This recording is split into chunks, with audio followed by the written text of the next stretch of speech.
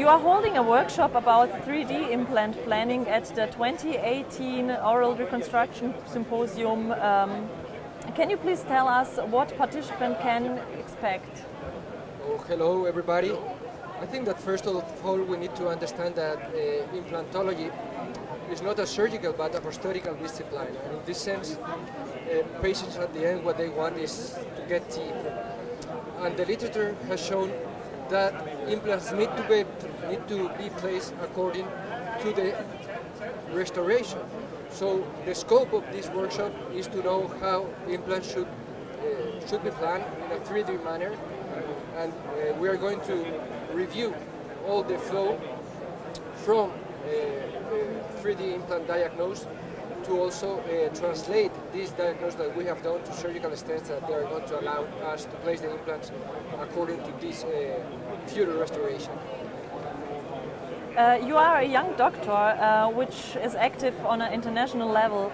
Do you believe uh, that is important for other young doctors to attend international congress uh, and why? Yeah, I think of course international congress are, if not mandatory, are very necessary because at the end uh, they allow us to see how things are working. We can see different philosophies, we can see different manners and trends for treating our patients. And at the end, it's not only a matter of, of working, it's also the opportunity to meet different cultures, different people, and make friends. Okay. Um, what are you looking forward to the most about the Oral Reconstruction Symposium uh, in Rotterdam?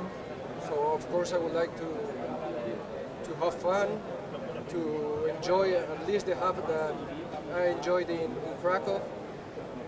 And I think you should take a special care on, on the scientific program, because uh, as you may appreciate, we are going to have uh, very high level speakers, Mariano Sanz, Juan Blanco, Professor Frank Schwarz, Jürgen Becker, Fernando Guerra, many other top level uh, clinicians and I think it's a great opportunity to bring them all together in a fantastic city as Rotterdam.